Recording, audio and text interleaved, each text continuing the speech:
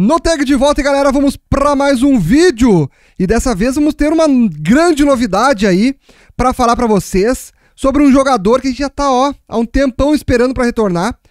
E com este jogador retornando, pode ser um sinal do porquê Renato Portaluppi e a comissão técnica quer que Iturbe não continue no Grêmio, né? Então vamos falar sobre ele, Jonathan Robert.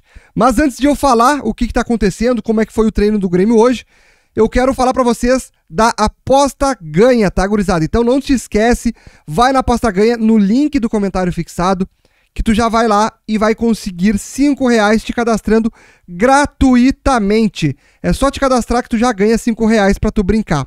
Lembrando que lá é muito confiável, são patrocinadores oficiais do Brasileirão, é uma plataforma que está chegando com tudo aí.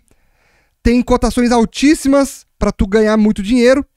E, obviamente, com um real apenas, tu já começa a apostar. Lá é super legal, super divertido. Então, aposta lá na Aposta Ganha, que tu já me fortalece aí também, beleza? Só te cadastrando lá, vocês já ajudam aqui o Noteg.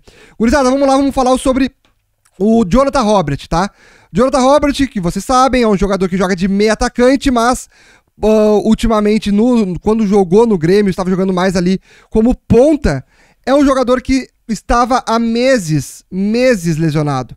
E quando ele foi retornar, se lesionou de novo.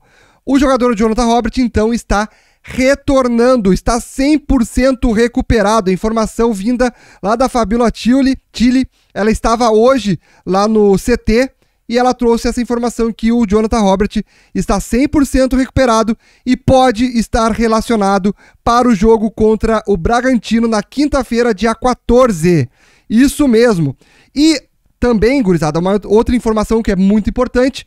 Hoje, às 20 horas da noite, eu vou deixar o, o link aqui também, vai ter o Papo Copeiro com Haroldo de Souza, nada mais, nada menos que um dos melhores narradores daqui do sul do país.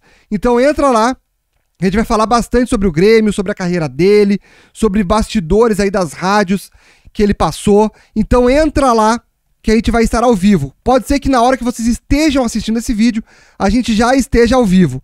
Então eu vou deixar o link aqui na tela, vai aparecer na tela aqui para vocês o linkzão bravo, vai ter o card, vai ter o link na descrição para vocês irem lá e assistir ao vivaço esta super live com o Haroldo de Souza, beleza? E continuando sobre o caso do Iturbe, né, uh, que eu disse no, no vídeo passado, que o Renato e a comissão não está gostando muito dele e por isso também, né, como está voltando agora o Jonathan Robert, é mais um jogador para disputar a posição e como o, o Iturbe não está indo tão bem como era para estar indo, né, o Renato e a sua comissão técnica devem sim liberar o jogador. Se ele não melhorar e caso ele tente colocar ainda o jogador para jogo e ele não uh, ficar bem, né? Não ir bem, não desempenhar bem a sua função. Beleza? Gurizada, não te esquece. Então, vai na, no Papo Copeiro, 20 horas, estaremos com Haroldo de Souza, conto com a presença de vocês por lá. Beleza? Vai lá, deixa o teu like, já te inscreve no canal, está rumo aos 10 mil inscritos, então eu peço que todos vocês cheguem lá, se inscrevam, assistam e deixem o like. Beleza? Valeu, espero vocês lá, tamo junto, abraço e